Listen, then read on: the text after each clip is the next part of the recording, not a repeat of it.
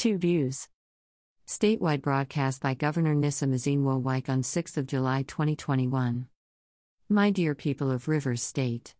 In response to the security breaches and premeditated attacks and killing of security officers in some of our neighboring states by gunmen, we imposed a nighttime curfew on our land borders with other states on the 28th of April 2021. 2. Following the premeditated attack and killing of some security personnel in Abua and Ikwerre local government areas by gunmen, we were forced to impose a statewide curfew from 10 p.m. to 6 a.m. 3. On the 11th of May 2021, the gunmen defied the existing curfew and carried out yet another murderous attack and killing of some security personnel in the state. This prompted the review of the statewide curfew from 7 p.m. to 6 a.m. 4.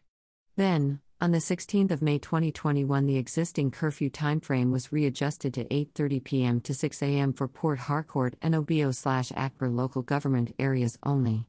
5. As we have reiterated severally, we understand the extremity of these measures, especially their negative impact on business and the social economic well being of the state and its residents. 6. However, in taking these measures, our primary concern and interest was and still remains the security of the state, and no sacrifice or price can be said to too much to endure for the preservation of lives and property. 7. And as we have severally stated, the curfew is not going to last a day beyond necessary. Picture shows Rivers State Governor, Nyesom-Wike during statewide broadcast yesterday. Photo, Government House, Port Harcourt. 8. Consequently, sequel to the measurable improvements in the security situation in the state as well as in our neighboring states, we have decided to lift the existing curfew on the entire state from tomorrow, 7th of July 2021. 9. While we thank you for your understanding and cooperation during this trying period, we must all remain security conscious and report any suspicious situation to the security agencies for action. 10. On our part, we will not fail to deploy every resource at our disposal to ensure the safety of lives and property while advancing the well being of all residents. 11. This is the very reason we are clearing the state of shanties that have become veritable sanctuaries for criminals and criminal activities across the state. Clearly, our actions in this direction are not directed or targeted at any particular person, identity, or group. 12. Once again, thank you all for your support, prayer, and solidarity as we continue to work together to keep Rivers State safe and secure for all. 13. Thank you and may God bless Rivers State.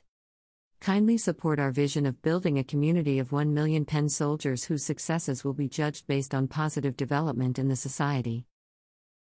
Photos TB Joshua Goes Home July 8, 2021. I was a single father, why child care is so important and how it helps women underscore US President Joe Biden July 8, 2021. I was a single father when I was first sworn into the Senate. I had two young boys, and we'd, two governors emerge in Borno State, APC Babagana Zulum 22 LGA Boko Haram Abakaka 5 July 8, 2021. ISWAP has successfully conducted a gubernatorial election and sworn in Abakaka as governor of Borno State.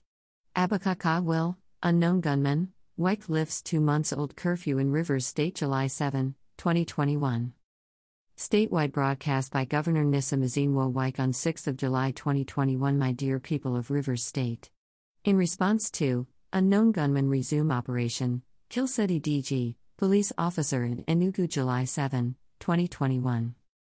For some weeks now, it looks calm in the southeastern part of Nigeria until this very evening unknown gunmen resumed.